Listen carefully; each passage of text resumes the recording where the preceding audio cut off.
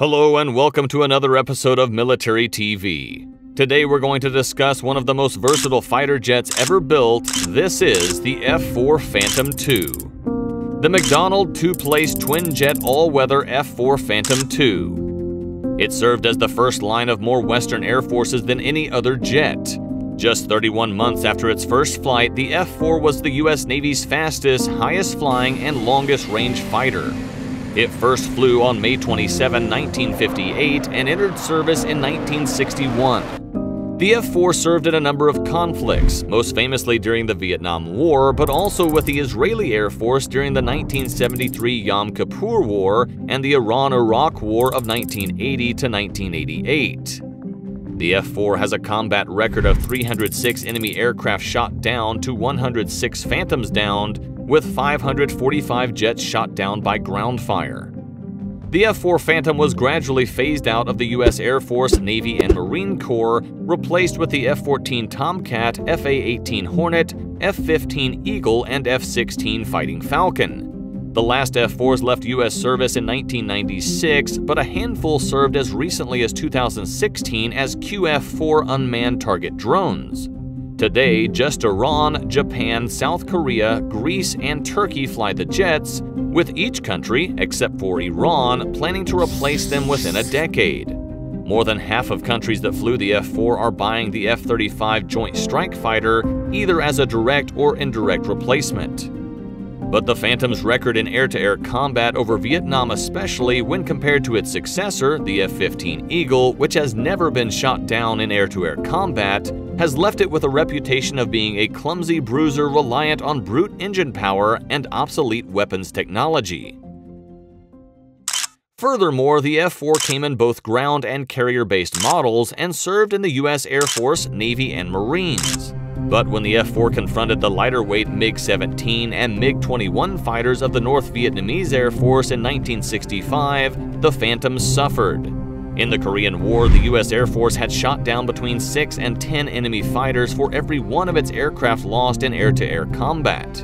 In Vietnam, the ratio was closer to 2 to 1, including other aircraft types besides the Phantom. The F 4's primary problem was that it had no built in cannon, Instead, it relied entirely on newly introduced air-to-air missiles, the radar-guided AIM-7 Sparrow, the heat-seeking AIM-9 Sidewinder, and the older AIM-4 Falcon.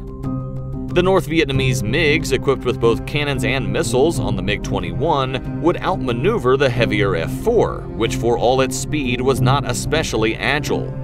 Worse, American pilots weren't trained for close-range dogfights, as the U.S. Air Force assumed air-to-air -air engagements would occur at long range with missiles. Furthermore, the Phantom's J-79 engines produce thick black smoke, which combined with the aircraft's larger size made it easier to spot and target from a distance.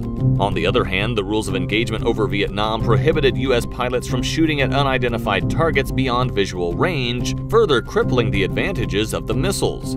However, the F-4's problems began to recede. Air-to-air -air missile technology dramatically improved with later versions of the Sparrow and Sidewinder.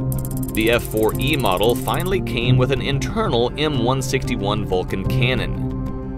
In 1972, an F-4 piloted by Major Phil Handley shot down a MiG-19 with his plane's gun, the only recorded aerial gun kill performed at supersonic speed.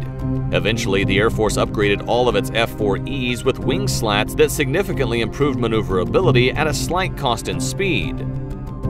New J-79 engines even dealt with the problem of the F-4's visible black smoke. The Navy, in contrast, perceived the problem as being a lack of air combat maneuvering training and instituted the Top Gun training program in 1968. Navy pilots went on to score a superior kill ratio over Vietnam of 40 victories for 7 planes lost in air-to-air -air combat. The Air Force's Phantoms claimed 107 air-to-air -air kills for 33 lost to MiGs, and the Marine Corps claimed 3.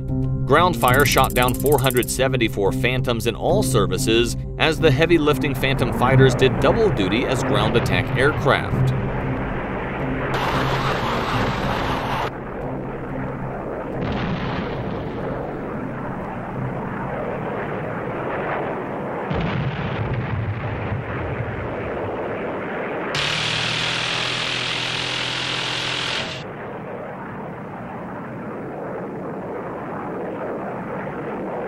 The last American F-4s would see action during Operation Desert Storm before being retired in 1996. The Pentagon later converted some into QF-4 target practice drones. However, the Phantoms proliferated around the world. The F-4 saw extensive use in Israeli service, scoring 116 air-to-air -air kills against the Egyptian and Syrian air forces starting in 1969 during the War of Attrition. In one engagement on the first day of the Yom Kippur War in 1973, 28 Egyptian MiGs attacked Ophir Air Base. Just two Phantoms managed to scramble in defense, but they shot down seven of the attackers.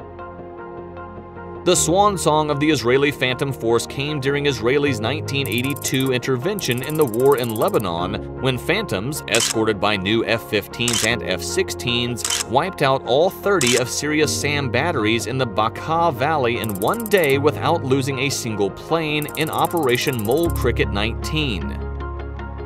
Iran received 225 F-4s from the United States prior to the Iranian Revolution. These formed the backbone of the Iranian fighter force during the nine-year-long war with Iraq. The Phantom reportedly acquitted itself well versus Iraqi MiGs and carried out several long-range raids on the Iraqi airfields. The actual number of air-to-air -air kills remains disputed. A question comes to our mind. How could the F-4 possibly keep up in this new environment? Easy, by integrating the same modern hardware used in the fourth generation, the Phantoms flown by the Turkish and Greek air forces both have modern pulse Doppler radars, which give the F-4 look-down shoot-down capabilities. In the past, high-flying radars had trouble detecting low-flying aircraft because the radar waves bouncing off the ground created a cluttering effect. Active Doppler radars cut through the ground clutter, Modern F-4s can also fire the full range of modern ordnance, such as the advanced AIM-120C AMRAAM air-to-air missiles with a range of 65 miles, precision-guided munitions such as the AGM-65 Maverick, and late-model Sparrow and Sidewinder missiles. As combat aircraft are essentially weapons platforms, these capabilities mean that the F-4s can handle most of the same offensive tasks a 4th generation F-15 or Su-27 fighter can do. The Iranian Air Force in 2009 claimed to operate 76 F-4Ds and Es and 6 RF-4s. Tehran has reportedly modified the planes to fire Russian or Chinese air-to-ground and anti-shipping missiles. They still rely on AIM-7 Sparrows acquired second-hand. Likewise, Iran relies on smuggled and improvised spare parts for its F-4s just like its F-14 Tomcats. Iranian Phantoms bombed Islamic State targets in Iraq's Diyala province in December 2014, and they continue to play cat and mouse games with US patrols and drones over the Persian Gulf. But are souped up F-4s really equal to 4th generation fighters? None of these 21st century Phantoms have flown in air-to-air -air combat, but F-4 Phantoms have engaged in non-lethal dogfights with Greek F-16s on several occasions.